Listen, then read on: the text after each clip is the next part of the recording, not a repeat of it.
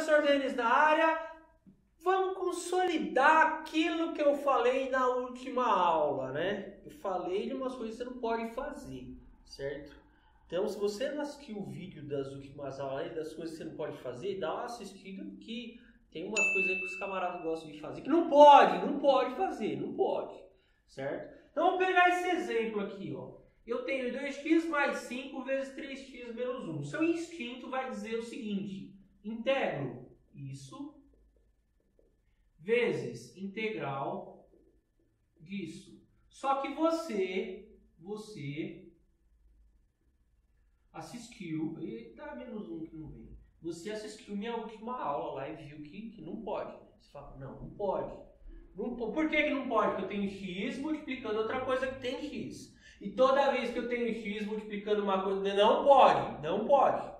Certo? Não pode. Tá bom, professor. Então o que, que eu faço? Esse caso está simples. Distribuo esse vezes esse, esse vezes aquele, esse vezes esse, esse vezes aquele. Se acontecer de não ter jeito, eu cair um x multiplicando outro x, cara, você vai ter que usar um método para resolver, integral por substituição, integral por partes.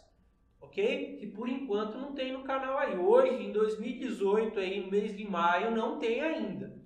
Ok? Só tem para quem faz curso comigo lá por enquanto. Tá bom? Aqui não tem isso. Não tem. Ok? Isso não pode. Não, não pode. Ok? Não pode. Então vamos fazer. Vai ficar assim, ó. Em preto aqui, ó. 2x vezes 3x. 2 vezes 3, 6. x vezes x, x quadrado. 2x vezes menos 1, menos 2x. 5 vezes 3x, 15x. 5 vezes menos 1, menos 5. Tudo isso dx. Tem que ter o dx, não tem sentido, né? Tem que ter o dx. Integral é uma multiplicação, né?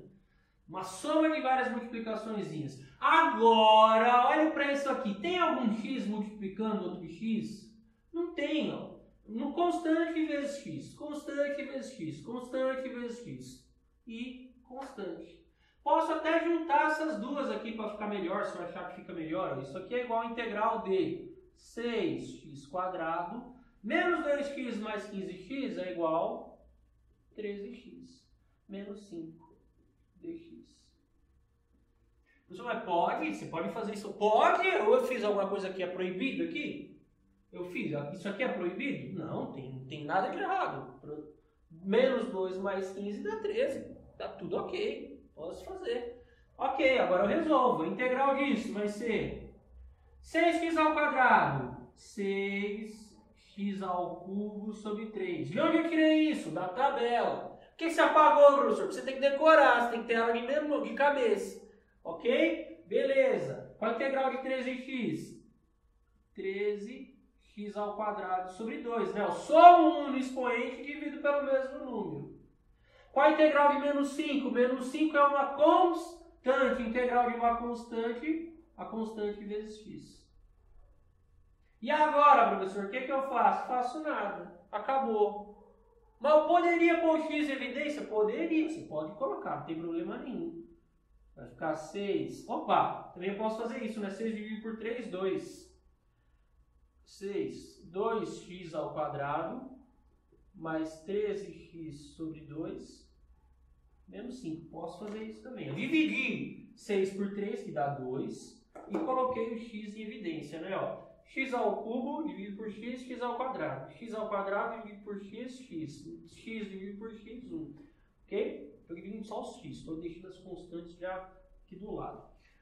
Resumo da ópera: se fizer isso, está certo, se fizer isso, está certo. E o que você não pode fazer é integrar, achar que isso pode ser feito dessa forma, tá bom? Ok? Encerra esse assunto, acabou agora. Você não vai fazer mais isso, certo? Você não vai fazer mais isso, tá bom? Espero que você tenha gostado do vídeo. Não esquece de compartilhar com seus colegas e te encontro no próximo vídeo.